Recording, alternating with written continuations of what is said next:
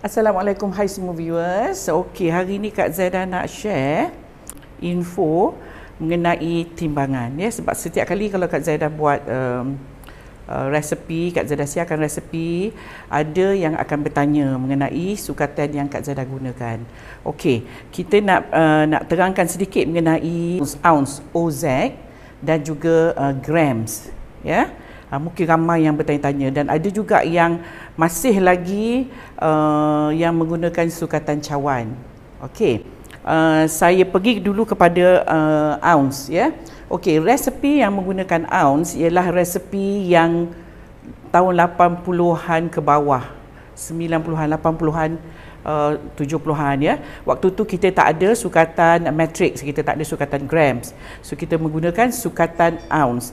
Saya masih guna lagi sukatan ounce sebab resepi yang Kak Zaidah ada ialah kebanyakannya resepi lama yang menggunakan sukatan timbangan ounce. Okey, macam mana nak dapatkan timbangan ounce ni? Senang aja. Kalau perempuan ada digital timbangan digital macam ni, tak kisahlah macam mana rupa dia, asalkan dia timbangan digital. Ya kebiasaannya kebanyakannya timbangan digital ni dia ada empat button dekat sini. Kebanyakannya. This one is yang yang murahnya lah ya. So you can get this one. Murah je ni ya. So you just boleh tekan pada on dulu. Okey bila dia dah keluar on dia akan keluar macam ni. Dia agak beralih ni sebab kita angkat dia ya So, kalau kita nak guna uh, ounce ataupun gram, dia biasanya dia ada unit dekat sini. Button unit. So kita tekan pada button unit apa yang kita nak. Nanti di bahagian tepi ni dia ada indikator dia menunjukkan ounce ataupun gram. Ha, tekan aja kat mana yang puan-puan nak guna. Kalau nak guna gram tekan hingga keluar G. Kalau nak pakai ounce tekan hingga arrow-nya uh, kepada uh, huruf OZ. Ha, kan senang. Okey, so untuk timbangan uh, puan hanya pilih OZ ataupun OZ, ounce ataupun gram. Dia ada juga pound dan dia juga ada um, kilogram di timbangan ni. Okey dan uh, pada yang uh, bertanya Kak Zada boleh tak convert daripada ounce to gram? Boleh yang sebenarnya. Cuma bila kita convert um, satu ounce ke uh, gram ada perpuluhan like point something, point tiga something. Kalau satu ada point something. Jadi kalau kita ada 10 gram yang kita nak guna, kita akan uh, calculate akan timbangan dia akan jadi perpuluhan yang agak banyak juga. Uh, jadi nanti mungkin ada sedikit uh, lebih atau sedikit kurang pada sukatan.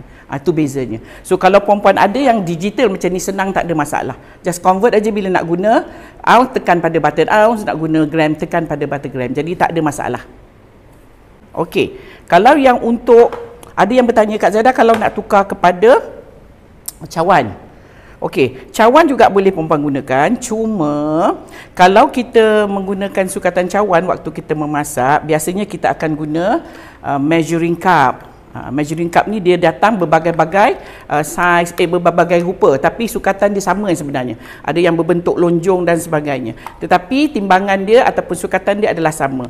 Cuma yang membezakan dia ialah bila perempuan di luar sana tak ada sukatan uh, cawan yang khusus untuk sukatan cawan, puan akan menggunakan cawan yang kita minum di rumah.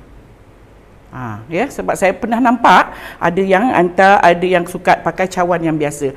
Untuk suka suka cawan yang biasa tak ada masalah yang sebenarnya sebab ikutlah je kalau satu sukatan uh, tepung, satu cawan tepung, tak ada masalah. Cuma yang masalahnya datang bila dia perlukan setengah cawan. Suku cawan. Jadi untuk puan nak dapat exact ataupun tepat setengah cawan agak susah berbanding dengan cawan yang dah sedia ada ni. Cawan sukatan ni dia ada satu cup ha, ataupun satu cawan ni rupa satu cawan. Yang ini setengah cawan. Ha, ni tak ada masalah. Cuma kalau perempuan tak ada sukatan cawan di mana dalam resepinya menggunakan sukatan cawan, puan akan guna cawan di rumah. Itu yang datang masalah bila kita guna setengah cawan, suku cawan.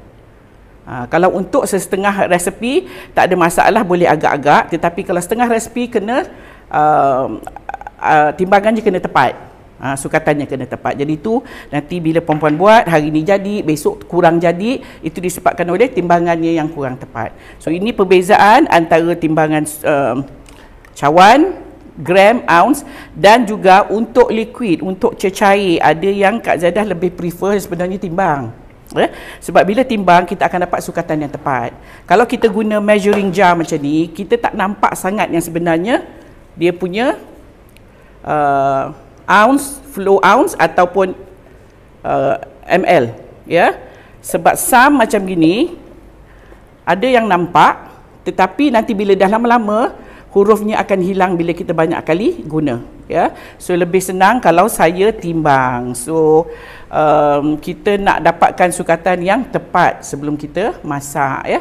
So itu adalah um, penerangan Kak Zaidah mungkin perempuan yang di luar sana dapat uh, sedikit kita dapat kongsi ya, uh, apa perbezaan antara ounce gram dan juga cawan So uh, harap perempuan uh, boleh dapat boleh memanfaatkan video ni untuk uh, perempuan rujuk bila waktu nak menggunakan uh, resepi ounce, gram dan juga cawan. Assalamualaikum. Bye.